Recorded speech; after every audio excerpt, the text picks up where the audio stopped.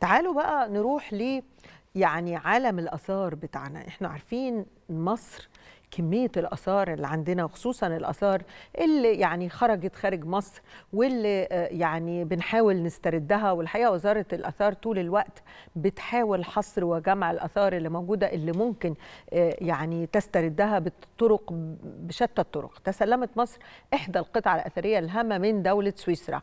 وهي يعني مجسم لجزء رأس رمسيس الثاني يعني جزء من رأس رمسيس الثاني والذي خرج من الموقع الأثري. زي ما أنتم شايفين الصورة أهي ده جزء منه. وطبعا هو خرج من الموقع الأثري بتاعه بطريقة غير شرعية.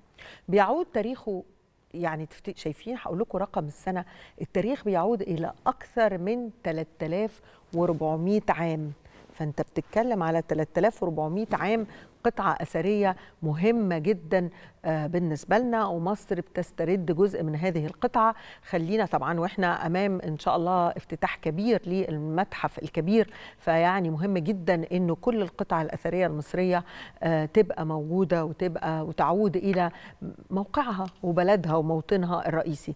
آم، مزيد من التفاصيل هتكون مع الأستاذ شعبان عبد الجواد المشرف على إدارة الآثار المست اللي بيتم استردادها بوزارة السياحة والآثار. خلينا آه، ناخد مزيد من التفاصيل. مساء الخير يا فندم.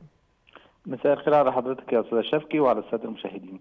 يعني كلمنا عن الاسترداد و- و- و- وبدأ إزاي ويعني إزاي تم الاسترداد والتفاوض مع سويسرا؟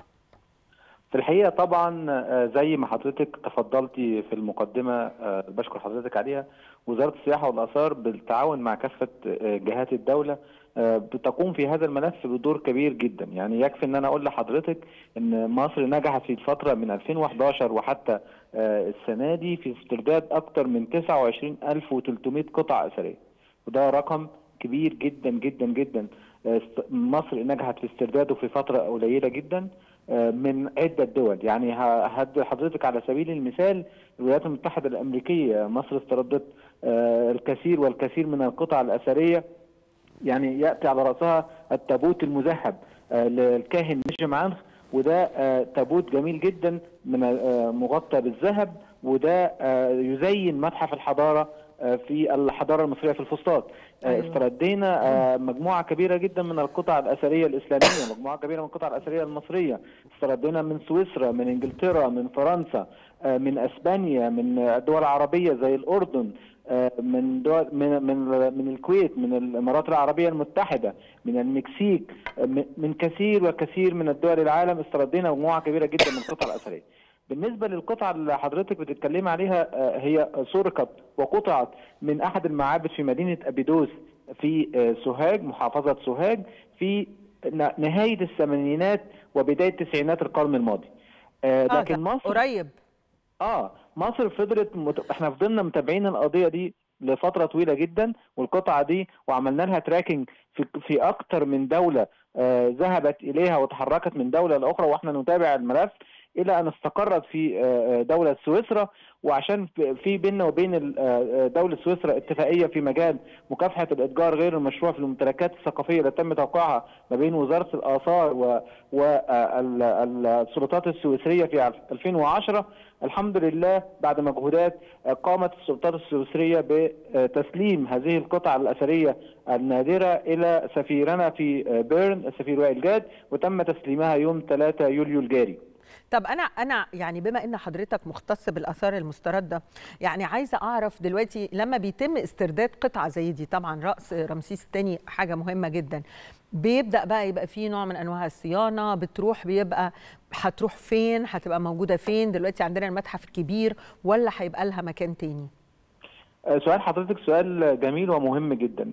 في الحقيقة طبعا إحنا عندنا آه، آه، مجرد القطعة الأثرية ما بتصل إلى إلى حدود جمهورية مصر العربية وتصل إلى مصر يتم إدخالها مباشرة إلى الصيانة لأنها تم تداولها من يد إلى أخرى فيتم عمل الصيانة والترميم اللازم لهذه القطع ثم تعرض على لجنة آه، في وزارة السياحه والآثار اسمها لجنة سيناريوهات الم- المتاحف. كل متحف من المتاحف له سيناريو خاص به طبعا. كل قطعة يتم يعني عرضها على هذه اللجنة ويتم توزيعها على المتحف أو على السيناريو الذي يليق بها. فهناك قطع أثرية مستردة معروضة في في متحف الأقصر في متحف شرم الشيخ في متحف الغردقة في المتحف المصري بالتحرير في متحف الحضارة المصرية والكثير والكثير من القطع الأثرية وهناك بعض القطع الأثرية يمكن ان وخصوصا لو كانت مقتطعة من معبد من المعابد يتم عودتها إلى يتم ترميمها في مكانها الأصلي بعد أن يتم عرضها على لجنة سيناريوهات المتاحف. آه يعني اذا بيبقى في خطة عمل بتبقى يعني موجودة للقطعة اللي بتعود لحد ما تكون يعني يعني تبقى في مكانها اللائق بيها تاريخيا و و و والمناسب للمتحف اللي موجودة فيها. ما فيش يا فندم زي ما سيادتك تفضلتي ما فيش نجاح بيتم إلا عن وجود خطط مستقبلية وبلان اي وبي وسي فإحنا في استرداد الآثار عندنا أكثر من خطة لكل قضية نعمل عليها.